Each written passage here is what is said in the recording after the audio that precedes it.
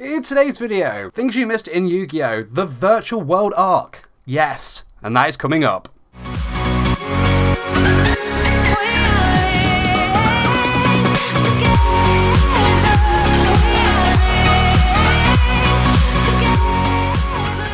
What is up there and welcome to a brand new video on 414 YGO. In today's video I'm bringing you things you may have missed in Yu-Gi-Oh! and this is the Virtual World Arc. And hey, if you're new here, why not join the 414 community by hitting the subscribe button and the notification bell so you don't miss out. So, I'm going in with episodes 98 all the way through to episode 109. This is going to cover the first part of the Virtual World arc. Next week, I will cover the second part. Super pumped about this, super excited. Let's get straight in to the things you missed. Episode 98, so this is basically an introduction to the Virtual World arc. All this energy, massive anticlimax. Nothing really happens in this episode other than some sub and dub changes. However, this episode technically has the first ZTK. For those of you don't know what that stands for, zero turn kill. This was basically when the simulation Kaiba took on the deck master, which was Total Defense Shogun, and it just completely wiped out the simulation Kaiba's Blue Eyes Ultimate Dragon. Thus, with the deck master being destroyed, the duelist automatically loses the duel. Awesome sauce. Episode 99, this is the first proper kind of deck masters duel. This is between Yugi and Gansley. Once again, massive anticlimax. Nothing really happens other than a lot of sub to dub changes. Uh, and you'll see this theme reoccurring throughout this video. Because these duels aren't technically like real proper duels, there's not an awful lot of mistakes in there. Because with this arc, I guess they kind of thought, you know what, let's go Kaiba. Let's screw the rules and just make up our own game. So if it's a mistake, hey, no one will know. We've got money. but of course, this episode features the awesome abridged moment where uh, obviously Kuriboh selects itself as Yugi's deckmaster. Do la la la.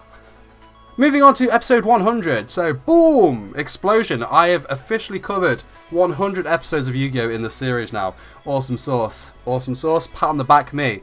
Anti-climax again. Nothing really happens.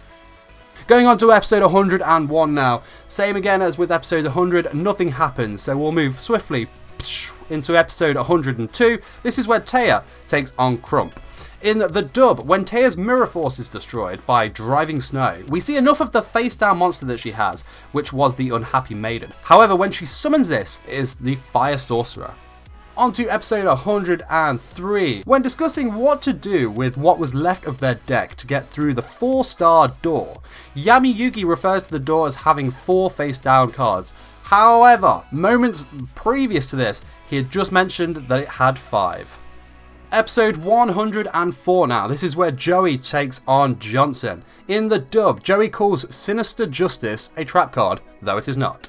Bit of trivia on this one as well. Johnson is the first member of the Big Five to actually take the form uh, in, in terms of its deck master as a monster used by a main character. In this one's case, it was Judge Man, of course used by Seto Kaiba.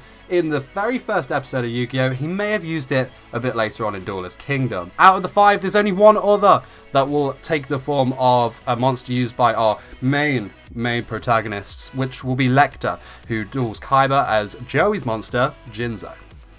Episode 105, a continuation of the duel between Joey and Johnson. Once again, nothing out of the ordinary in this episode. Episode 106 now, so we've got a 3 in 1 duel here. Well, 3 versus 1, I should say. We've got Tristan, we've got Duke, we've got Serenity. Worst combo ever, maybe?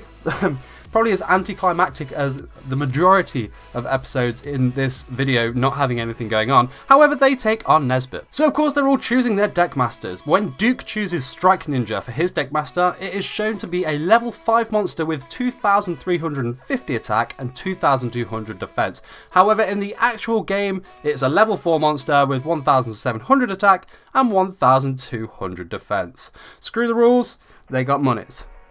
Also, Duke could have easily avoided the Machine King being summoned because Yaranzo, a monster controlled by Duke, has 100 more attack than Gigatech Wolf, a monster that Nesbit obviously tributed for Machine King. There was a turn just before he'd sacrificed it where Duke obviously had the chance to have attacked this monster, he decided not to. Maybe he should just stick with the dice. 107, episode 107. When Nesbit becomes perfect Machine King, there is a number 4 on his left shoulder.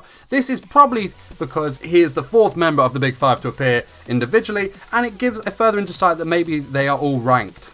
In this duel as well, both Perfect Machine King and Saint Joan are of course fusion monsters, yet both of them attacked on the same turn on which they were summoned.